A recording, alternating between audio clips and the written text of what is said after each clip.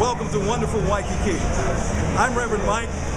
Thank you so much for stopping by our WaikikiWedding.com. We'd like to invite you to have a look at all the packages that we have available.